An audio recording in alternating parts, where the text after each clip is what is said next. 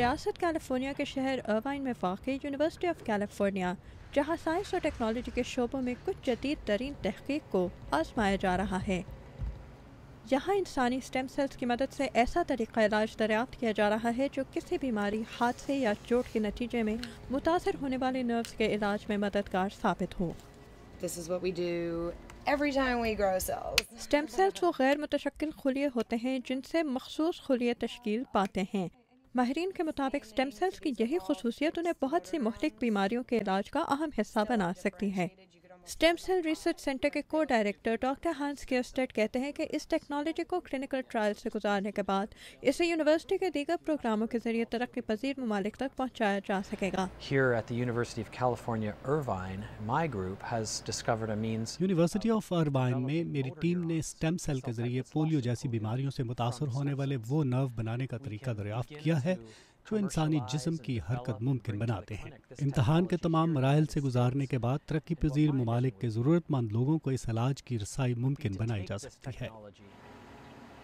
Doctor کیسٹٹ کہتے ہیں کہ اسٹڈی کے نتائج کلینکل امتحان شروع ہونے کے دو سال بعد ہی ظاہر ہوں گے۔ لیکن اس طرز کی تحقیق کے کچھ گنے چنے کالجز میں ہی نہیں، بلکہ امریکہ بھر میں کیمپسز پر حوصلہ افزائی کی جاتی ہے۔ واشنگٹن میں بارہ یونیورسٹیز اور دو کالجز پر مشتمل ایک کنسورشیم نہ صرف طلباء کو تعلیم کے مختلف ذرائع فراہم کرتا ہے، بلکہ اس کی لائبریریز طلباء کے لیے تحقیق کے دروازے بھی کھولتی ہیں۔ Consortium of universities of the Washington metropolitan area ایک غیر منافع بخش تنظیم ہے جو واشنگٹن کے مختلف کیمپسز پر پڑھنے والے طلباء کو ہر ممکن امداد فراہم کرنے کی کوشش کرتی ہے خواہ طلباء مختلف مقامی یونیورسٹیوں میں پڑھائی جانے والی کلاسز کا فائدہ اٹھانا چاہتے ہوں یا اپنی تحقیق کو پایا تکمیل تک پہنچانے کے لیے کتابوں اور دیگر وسائل کا مطالبہ کرنا چاہتے ہوں۔ کیمپسز پر کی جانے والی تحقیق بہت کارآمد ثابت ہوتی ہے، لیکن اگر طلباء کی حوصلہ افزائی نہ کی جائے تو تحقیق کے بہت سے مواقع ضائع ہو سکتے ہیں۔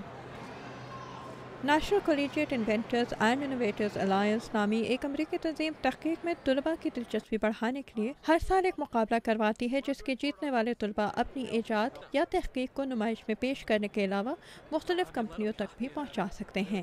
اس سال یہ مقابلہ جیتنے والے طلباء کے کام کی نمائش کیلیفورنیا کے شہر سان فرانسسکو میں ہوئی۔ جیتنے والی ایک ٹیم کا تعلق براؤن یونیورسٹی سے تھا، جس کے طلباء نے آنزا نامی ایک کمپنی شروع کی ہے۔ کمپنی کے سربراہ سٹیو سیلوچی۔ یہ کارٹ بہت کم داموں میں بنائے جا سکتے ہیں۔ اس کے پہیے ہم نے ردی سے بنائے۔ ہیں ہم نے پرانے بیکار ٹائر ری سائیکل کیے اور ان سے ربر کاٹ کر اپنے کارٹ کے لیے ایسے پہیے بنائے جو بہت مضبوط ہیں۔ اگلے سال اس مقابلے میں شامل ہونے والے طلباء اپنی تحقیق واشنگٹن میں نمائش میں پیش کر سکیں گے۔ آمنہ خان اردو وی او اے۔ Washington